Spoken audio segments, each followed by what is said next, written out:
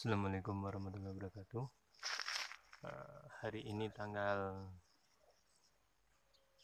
27 Juli 2019 Alhamdulillah lahannya sudah bersih. Eh, Lahan seluas 12 kali 20 sudah bersih tinggal